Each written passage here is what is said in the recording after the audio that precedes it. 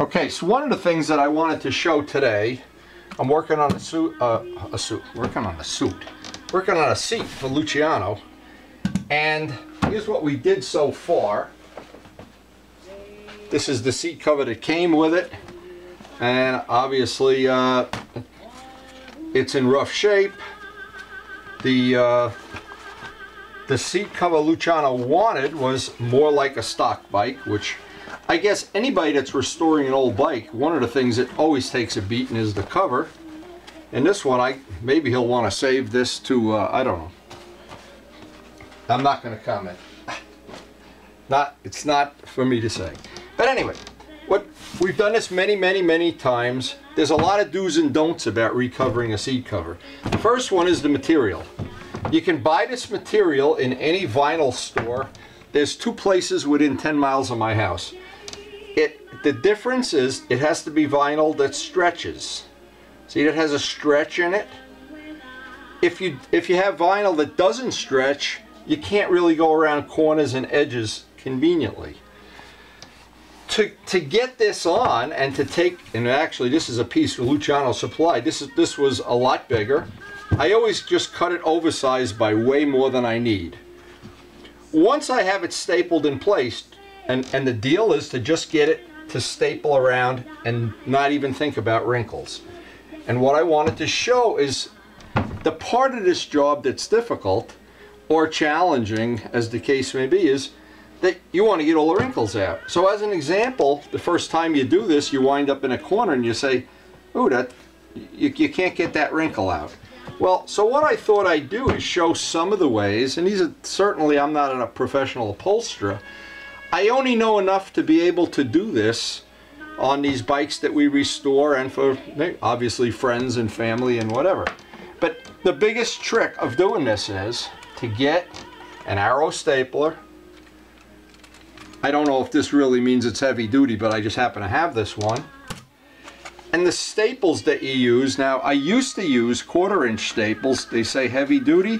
Well for this seat, quarter inch staples aren't going to work because is such a it's so difficult to get down around in the corners that I've I've gone to woo to having longer staples. These are I don't know if they're even 3 eighths or what.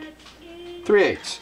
Okay, so but the longer staples they'll allow me if I can't get the gun to go right in on a perfect angle. so you're like right here, this is going to keep it that, so I'm going to have to go on both sides of it. So sometimes you have to be a little creative about that, but a lot of people that have never done this before, and by the way, we've done a lot of upholstery for houses and antique houses and chairs and different things that, but it's always the difficult part, the part that needs a little, most people that are starting this need a little, like how to do it, is to get the wrinkles out. And so I thought I'd use Luciano's seat, since it's a rainy day and we're here basically uh, trying to get this to look like a stock seat, I guess. But number one, there's always, no matter how tight you do this, there's always a few little wrinkles. Now, the, the thing to always do is have a heat gun. And I'll show the different, some of the different ways I've used. But certainly these are not the only ways. There's a lot of ways to do this. This is one way that I think everybody that restores motorcycles has a heat gun. You could warm it to the touch. If you keep doing this long enough, you'll eventually burn a hole in it, so we don't want to do that. Then it'll stay that way probably for a minute or so. Then the first thing is to pull out all the old staples. And what I'm doing, if you watch how this goes, you probably think, wow, that's pretty easy, and it is. So I want to start pretty much in the middle. I want to put some tension on it, and by the way, it's always good to do this the day after you get a manicure because if you have a long fingernail, that's why I like the long staples, it, it tends to get in the way. Now I'm pulling this up. The heat is allowing me to stretch it. And I'm just retacking it.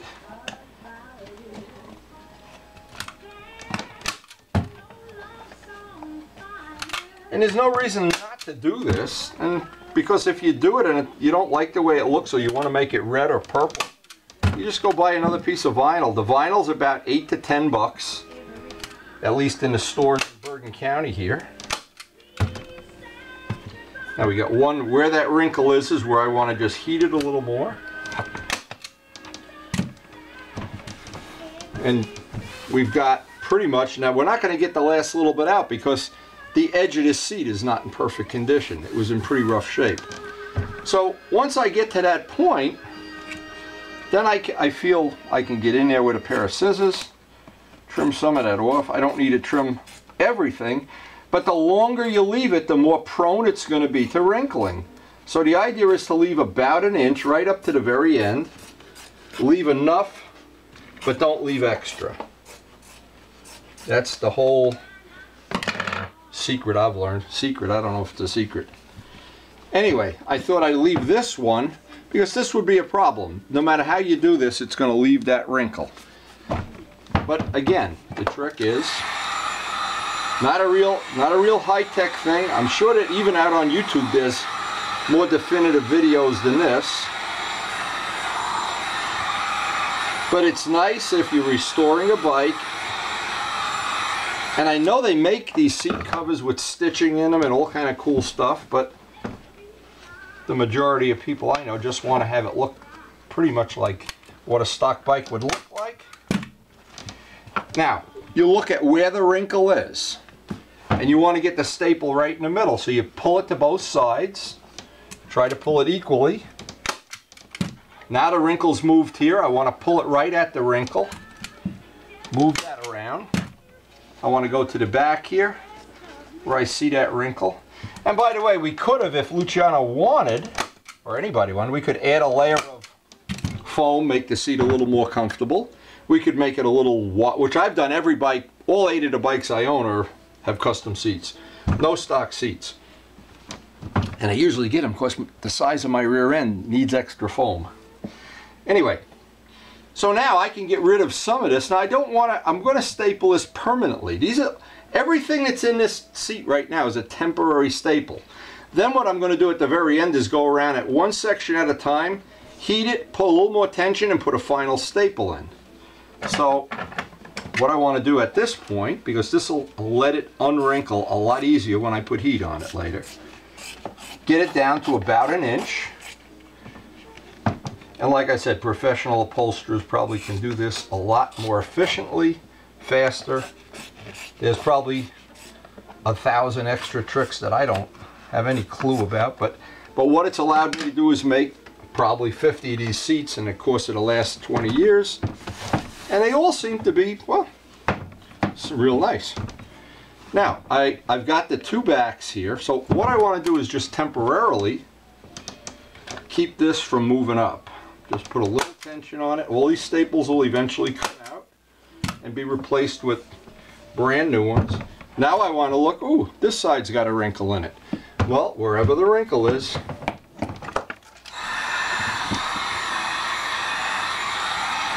Then the real difficult thing is, see, this is going to go down eventually. So I'm going to, over the course of doing this eight, ten times, keep pulling this down like a drum until I get as much of that curve in there. This is very similar to the, the Kawasaki 750 seat that I just did. Of course, I can put all that embroidering on for Luciano if he wanted, but uh, I don't know, I could put Luciano's pizza team or something.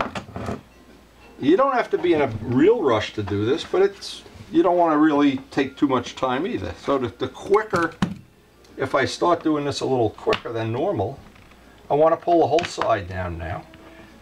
And to constantly taking out the original staples, stretching it. Again, we could stretch it this way.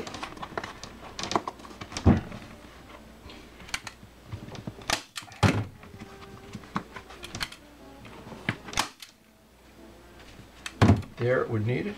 And the material stays warm for about a minute.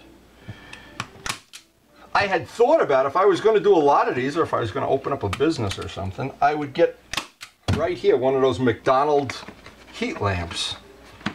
So it would keep it, probably would burn your hand too. And this way, sometime having it the lowest tech way possible, Occam's razor seems to work the best. That one's out. And this is why I like to have the longer staples now is to get in here where I can't really get in.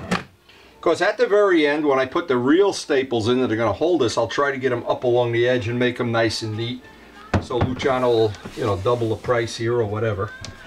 But anyway, that's starting to come out nice. Now it looks like getting up in the front, by the way, is always the most difficult. So to start with doing the front, I want to make sure I don't have way too much material because that's just going to make it harder and harder. It's the, the smaller you can make the material up to about an inch, the better of a chance you have of getting out because you need an inch of material to gra grab with your neat little fingers. Okay, we've got plenty up here. And this is where this is going to have to bend around, so I'm going to have to heat that. So let me just take take what this is, as I call this a corner cut.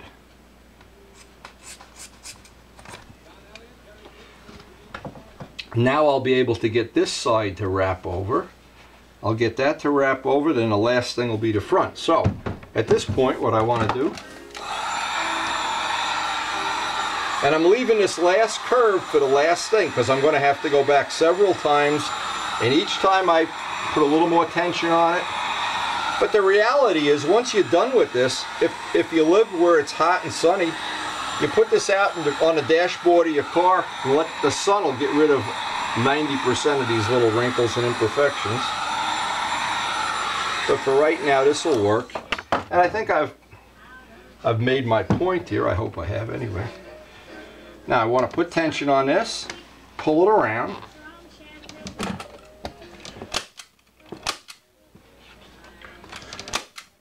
I also want to, while I got the material hot, pull that around.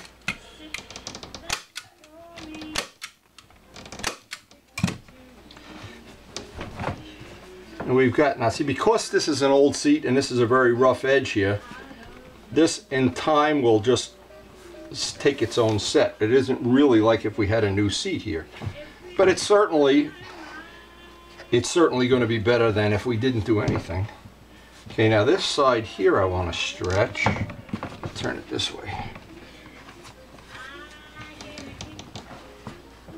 And the good thing about this is, no matter how many times you do this, you can always go back and pull the staples out, heat it, stretch it.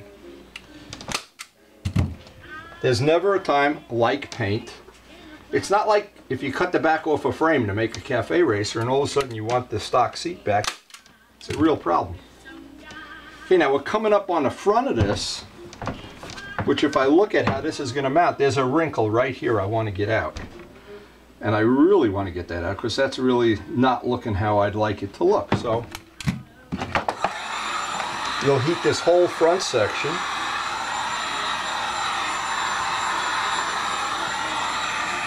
Now an example is Bob's VFR has a, a seat cover that needs a, a recovering, probably over the winter.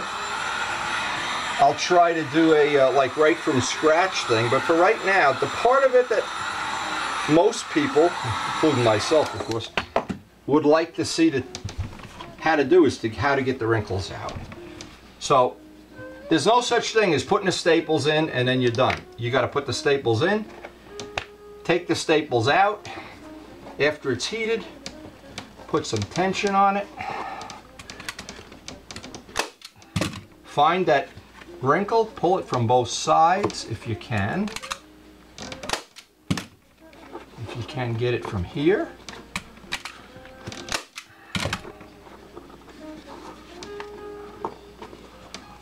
Now this part, we, whoops, we probably can do from, you have to be on the edge of a table to do this.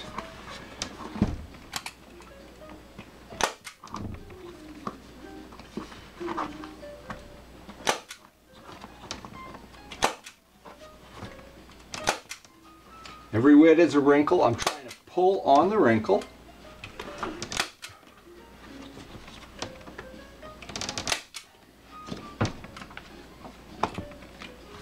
Now this could use a little more heat here, but let's just what we can out right now.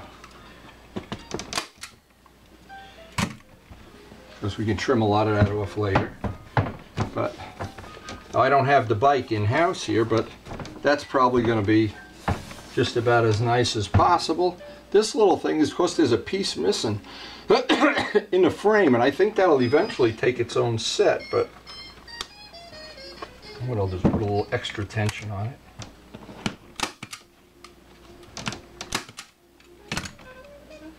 Now let's see. Now at the point you're happy, now the only problem, that's not a problem, is see this is not following the contour.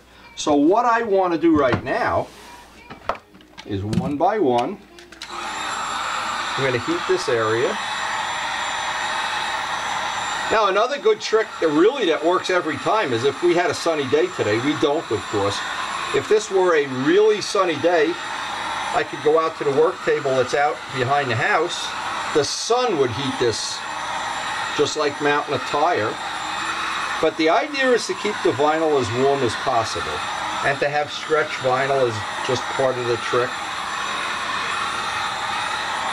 Now this operation I'm doing right now, I'm going to have to probably do 8, 10 times to get that as tight as possible.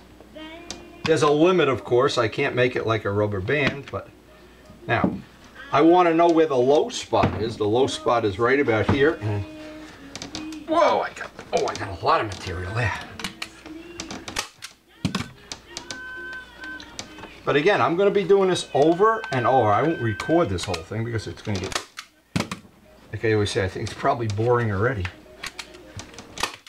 But not if you want to you want to see how to do some of these things. And to be honest, I wish years ago when I was doing a lot of this stuff, I wish I would have had the option of having YouTube videos, which boy, they are good. Now we got we got 80% of it out already. Okay, now I have to do the same thing on this. And it's a question now of going back and forth over and over warm the material. When you think you got it as close as it possibly can be, then I'll put, take one little section at a time and put all brand new staples in it. But I've got this section here, and by the way, what happens when you put this seat out in the sun, even if it's on the motorcycle, it'll, in the course of sitting in the sun for a couple hours, the vinyl just kind of and conforms to the shape. So switch this around.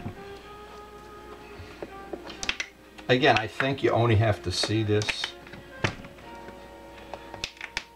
A good friend of mine that George Venturini that taught me how to do a lot of the work around my house, he'd say, you only have to see it once.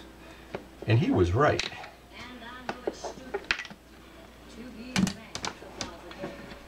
Okay, now I want to find that low spot, which is right about here.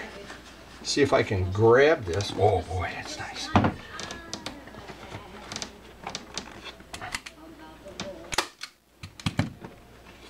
don't want to let go. Obviously, if you have a helper here, it makes it a lot easier. But I try to gear everything that I do to working alone. And this is a little defect in the seat here, so I'm not going to make myself crazy over that. Sure Luciano's not going to want to buy another seat. Oh, we ran out of staples. It can happen.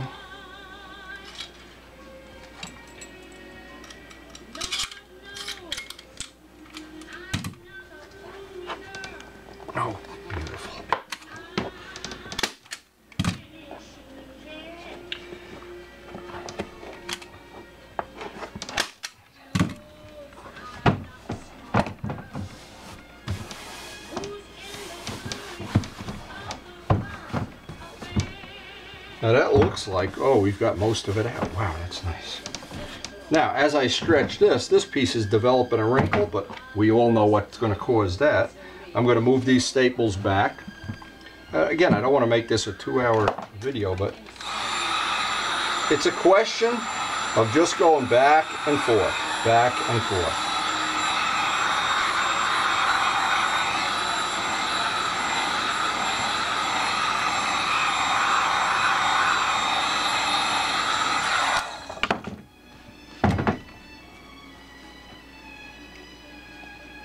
And I will, before the day is over, I will have done that stretch thing several times.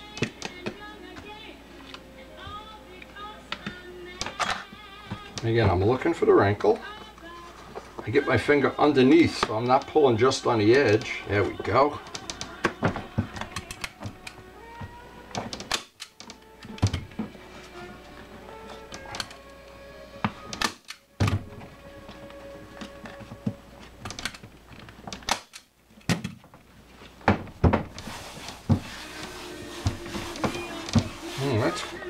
Coming out pretty good. Now it's these edges, because this, this has a thing for a strap. Hmm, that's what's, well, you're not going to see that anyway.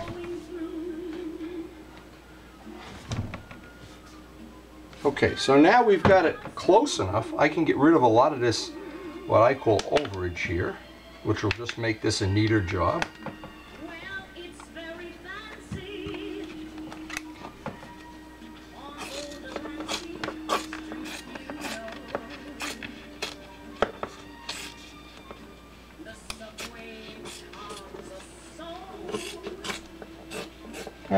You could do with a razor. And we'll be ready to put the final staples in. That's done.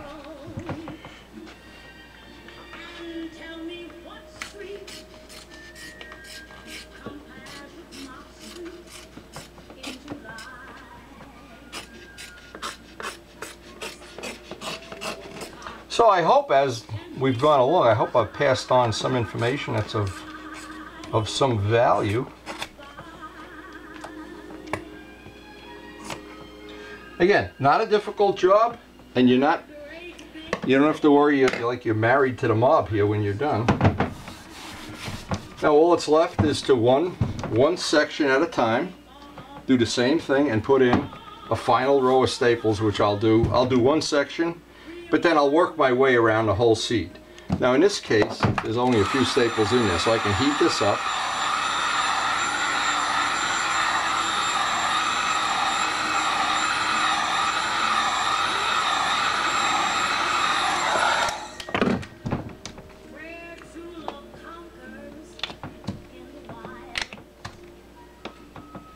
And I think it's one of those things that's very true is you only have to see it once. And we've got a little extra. Now, I don't want to make it so tight that we're going to have rips.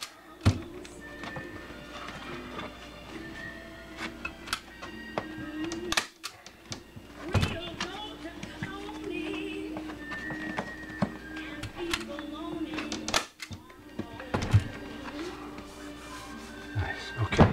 So now that I know I've got the final piece in there, and I'm happy with it, I'm going to go to the edge of the table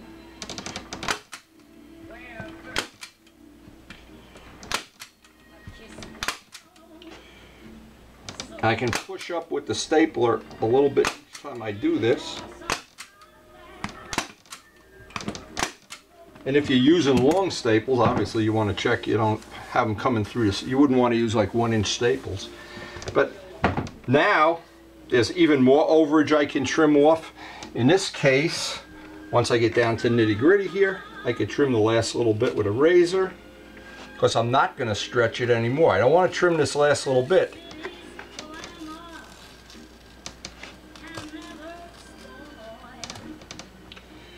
And that's what the final, the final little thing is going to look like. I'll do the rest of the trimming. It's a relatively complex seat shape. Now, the anytime you have a thing, there's a certain amount you can bend this, but then there is a point at which you have to put a seam in it. We have a sewing machine, we have an embroidery machine, but but it's my personal choice to always have it one piece if possible. Just I just like the look of it because it's old school looking. However, you see some of the modern Corbin and all of the aftermarket seats, they got threads going through them and they look real custom and real nice. But, but this is something I think pretty much anybody can do this in about, took me about an hour, maybe a little more than an hour. The money, eight, ten dollars for the vinyl, couple bucks for the staples. And I'm sure that's something that uh, anybody that's restoring an old bike can you can pretty much use that information. So again, my email address is windyu at AOL. And the website for YouTube is website, whatever you call it, Windy Space U. You have to put the space in. And thanks for watching, of course.